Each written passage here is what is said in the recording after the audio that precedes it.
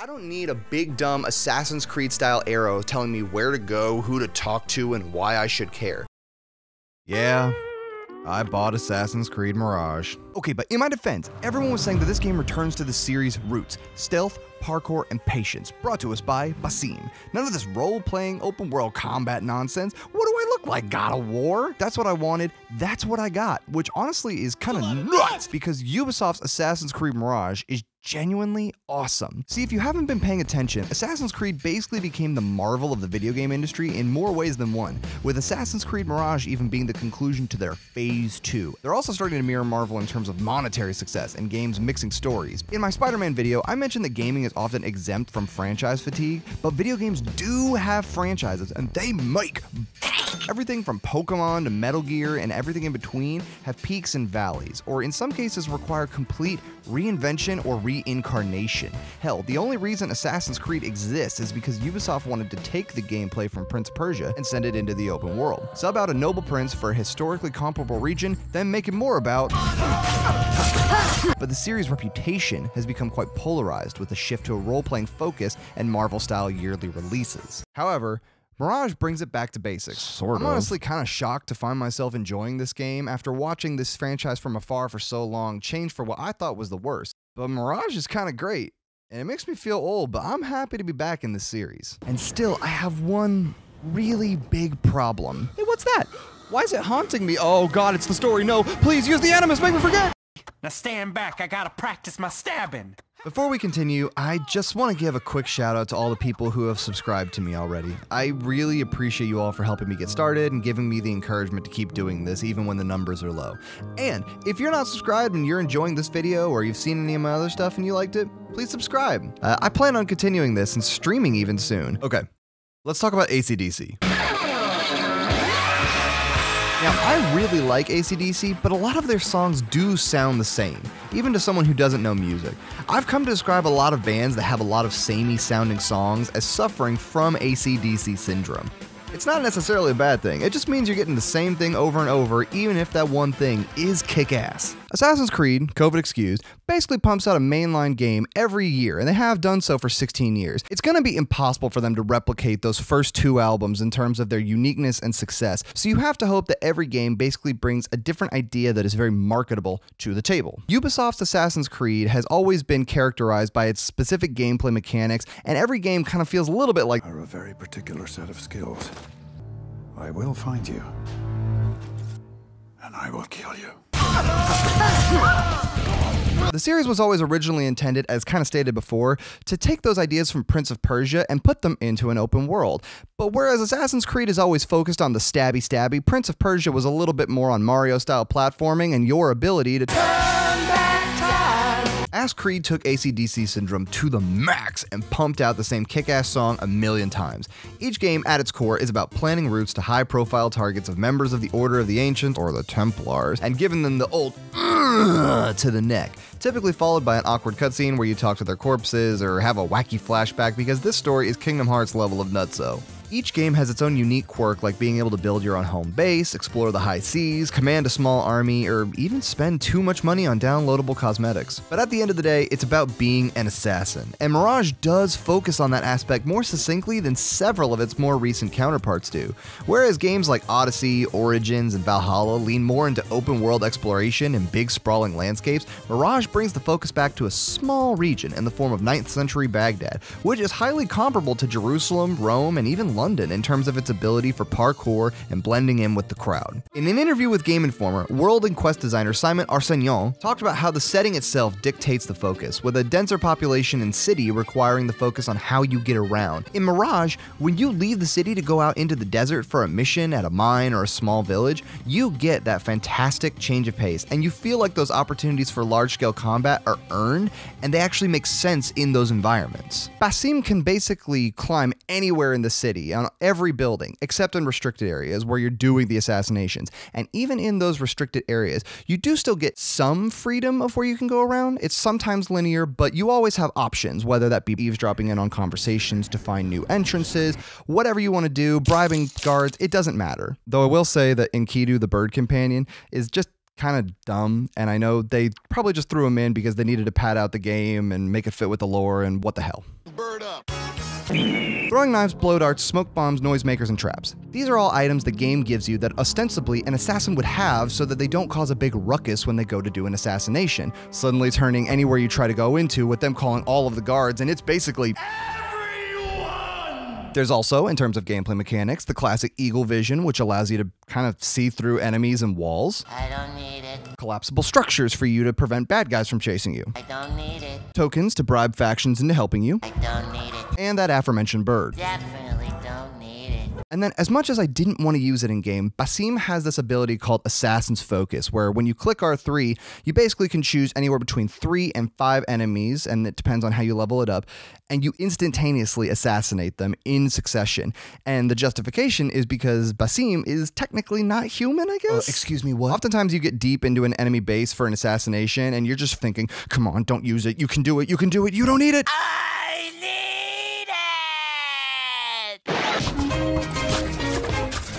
We also have a stuffy pit of collectibles for our treasure trove to retrieve. Upgrades for tools, equipment, currencies, but because of the smaller scale, everything you collect through side missions or contracts are restricted to upgrading your primary toolkit. If you don't want to 100% the game, that's just fine because acquiring all of these swords, knives, outfits, they only have minor effects on the overall experience. And that's the way it should be. I beat this game in 14 hours, 40 minutes, while still unlocking most of the skills, gathering a good chunk of the unlockables, and completing a handful of side missions. A 100% clear rate in under 24 hours is very doable, even in a casual run. So, from a gameplay perspective, I really couldn't recommend this game enough, even if it is a little on the lighter side of content. But, uh, remember this guy? We gotta talk about that for a little bit. Let's imagine that it's the year 2012. Barack Obama is busy rizzing up America. Carly Rae Jepsen is wondering if I'll maybe call her. And the San Francisco Giants just won two of their three World Series within five years after 60 years of sucking. At that time, you might have actually been playing the first three Assassin's Creed games right after you came home from the movies and saw The Avengers. If you liked both of those, you probably liked Altair, Ezio, and Haytham just as much as you liked guys like Captain America, Iron Man, Thor, even Hulk. Okay, now imagine you're me and you just got into college, and maybe you don't have as much time for video games or movies as you used to because you're focusing on your studies. So you missed that new Ant Man movie because, I mean, you don't know Ant Man, you don't care.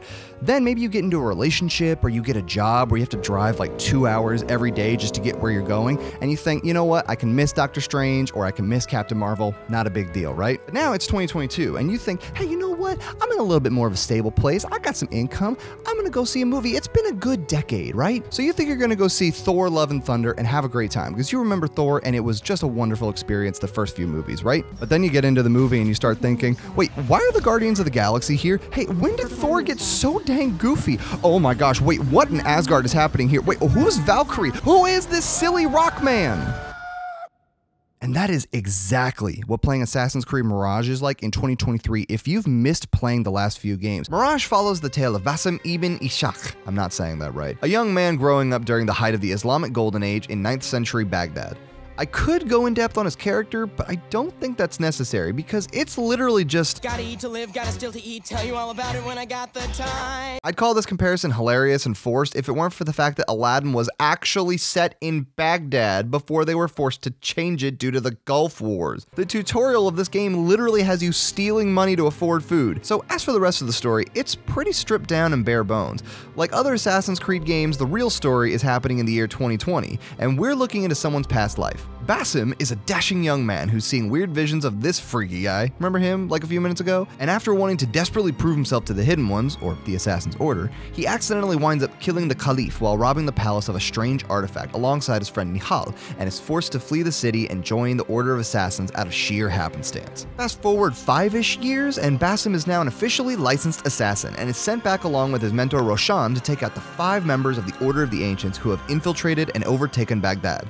In the process, Basim can rid the city of those that caused him pain growing up, hopefully discover more about his visions and the object he found in the palace, and liberate the people of Baghdad from tyranny. This part of the story is not complicated, but it's also not terribly interesting either. While I love running around the city of Baghdad here, I found that a lot of the characters and stories are kind of bland or uninteresting, despite the fact that the city itself is quite beautiful and there's a lot of wonderful historical landmarks for you to visit and interact with. Some of the characters like Dervish, Kong, and especially Mikira are really compelling and interesting, and I would have liked to spend a little bit more time with characters like that if they had more to do with Basim's story. But on the whole, the game feels like it's glossing over some of these characters and locations in service of the overall narrative of Assassin's Creed games. And that's what we got to focus on now because oh my god. If you want to avoid spoilers, please, this is the time to go ahead and skip to this time code because I'm going to be spoiling, I guess, what you'd call the main point of this game and a lot of the other points of Assassin's Creed games, like the overall narrative. So if you really want to hide it, go ahead and skip to this time code.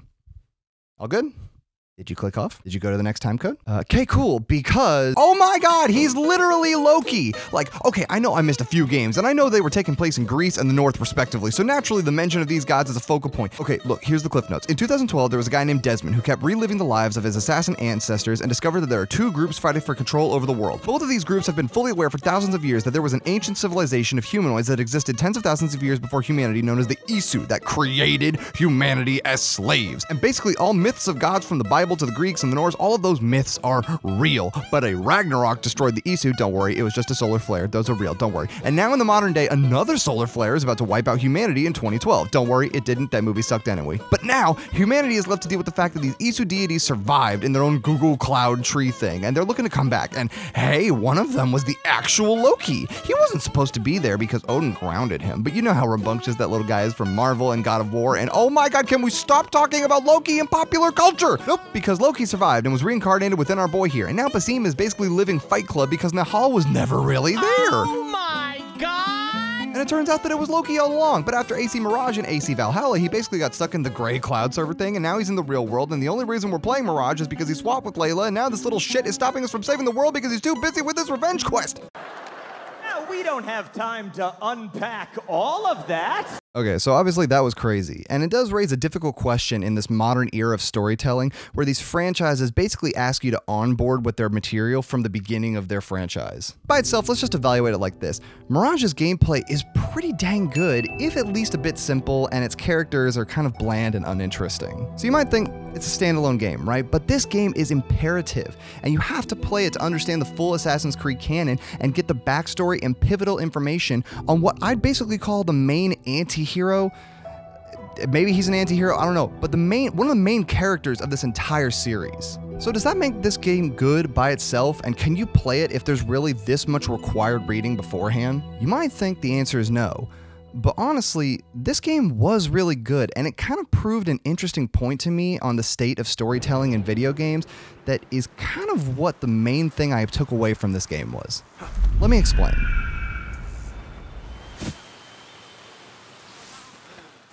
If I were to ask you if Doctor Strange and the Multiverse of Madness was a good movie by itself, you'd probably say, not really, it was entertaining or whatever. But if I asked you if it was important to the Marvel canon, you'd probably say, oh, hells yeah, it has some crazy implications. And you could say the same thing about Star Wars, Lord of the Rings, Batman, James Bond, Star Trek, whatever. All of these things demand a certain level of fervorous devotion to have the full picture, depending on how involved they get with their lore. However, I think video games sort of get to escape this because I just played Mirage without knowing any of that craziness, and I still had a good time. Maybe I wish the game was 40 bucks instead of 50. Maybe I wish the parkour mechanics were a little more fine-tuned and I could stop questioning whether to hit X or O to jump or drop off a building. And yeah, maybe I wish there was more of a focus on building characters in this time or place than trying to connect to an overall narrative. While there are articles upon articles discussing the declining state of Marvel films, the most critical thing you're going to hear about Assassin's Creed is just that fans prefer certain gameplay elements over others or think specific stories and games are better. The lowest rated ones of the bunch, Unity and Rogue, came out within the same year of each other, and they're still rated a 72 overall. Other than them, virtually every other mainline game in the series, and there's 11 more of them, have at least a 75 or more on Metacritic, and most of them are in the 80s. Yeah, the games may not be masterpieces, but at least they're consistent. I guess what I'm really trying to say is that I walked away from Assassin's Creed about 10 years ago because I was getting frustrated with the shift in gameplay to more of a role playing model in a series that I didn't really think suited it. And in the same way, I also walked away from Marvel after Avengers Endgame because the production on the movies and the writing overall was becoming so bad. Because now, if I want to jump back into Marvel, I have to basically go back and watch five years worth of material if I want to start watching Loki.